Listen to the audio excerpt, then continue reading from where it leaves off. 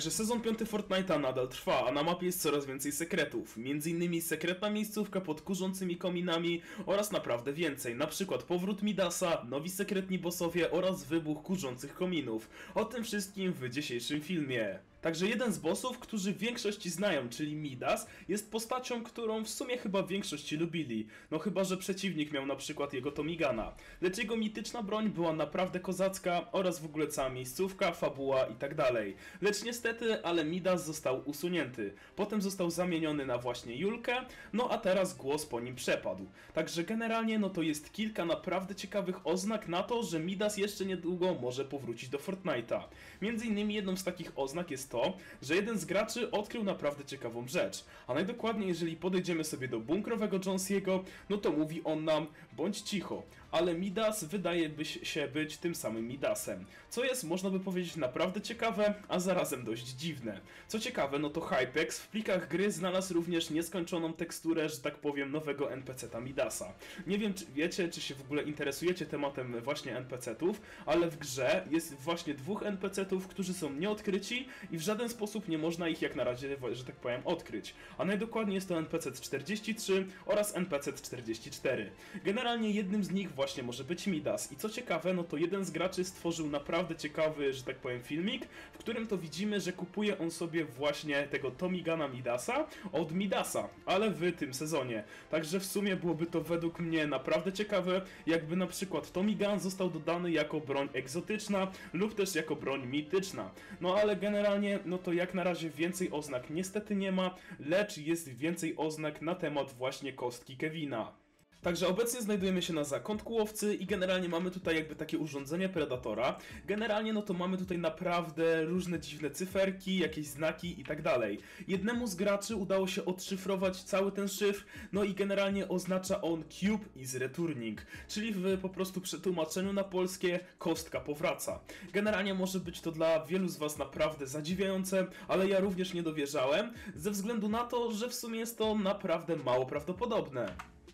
Także jedną z osób, które właśnie chcą, żeby Kostka, czyli Kevin, powróciła do fabuły Fortnite'a, jest to właśnie agent chaosu. Generalnie no to naprawdę wiele rzeczy na to wskazuje. Między innymi jakieś ekrany wczytywania i tak dalej. Ale jest jedna rzecz, która na tej miejscówce chyba należy do niego. Także generalnie z tyłu hełmu agenta chaosu znajdują się właśnie również te same znaki. No i jeden z użytkowników Reddita je odszyfrował. Generalnie po angielsku znaczą one katana. A wiecie co znajduje się na tej miejscówce za tymi drzwiami? No właśnie, znajdują się tutaj dwie katany oraz również taki oto czerwony ekranik, co może oznaczać, że właśnie macza on w tym swoje palce. Generalnie, moi drodzy, no to nie wiadomo jeszcze jak dokładnie będzie z powrotem właśnie kostki Kevina, lecz jak już mówiłem, no to jest całkiem prawdopodobne to, że do gry powróci Midas. Nie wiem dlaczego, ale w sumie byłoby naprawdę całkiem spoko. Moi drodzy, także obecnie znajdujemy się na kurzących kominach i generalnie ostatnio znalazłem filmik z naprawdę ciekawym pokojem, który znajduje się właśnie na tej miejscówce. Także sprawdzimy sobie teraz, czy rzeczywiście jest taki pokój i co się w nim generalnie skrywa. Także generalnie znajduje się on tutaj i musimy sobie przejść tu i Słyszałem jakiś dźwięk, dobra, nieważne. I generalnie no to pod tą podłogą ma być podobno ten pokój, także uwaga. 3, 2, 1 i Ej, rzeczywiście są tu jakieś schody. Okej, okay, dobra, schodzimy sobie tutaj. I tutaj nic nie ma zbytnio, poza jakimiś, w sumie tutaj nic ciekawego nie ma. Ale może jest coś tutaj za tą ścianą, może coś za tą ścianą. I... Co jest? Mamy tutaj jakiś głośniczek z czerwoną walizką, który gra nam dziwną muzykę. Co on robi? Jak do niego staniemy, to wszystko się tak psuje jakby. I co ten głośniczek robi generalnie? Chyba nic.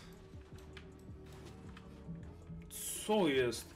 Ej, dobra moi drodzy, także generalnie no to ten filmik akurat okazał się prawdziwy i rzeczywiście jest tutaj takie małe urządzenie, które wydaje jakiś dziwny dźwięk. Nie wiem w sumie co to jest za dźwięk, czy w ogóle to można zniszczyć. A, można zniszczyć. Także generalnie nie mam pojęcia, co to może oznaczać. Możecie dać znać w komentarzu, co na ten temat sądzicie i wydaje mi się, że jest to, no, całkiem ciekawe.